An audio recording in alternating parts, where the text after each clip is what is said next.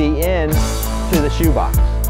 So I know right there that is not what I need to feel. So the more that you are aware of what you are doing, the quicker that you will fix the problem. Feedback.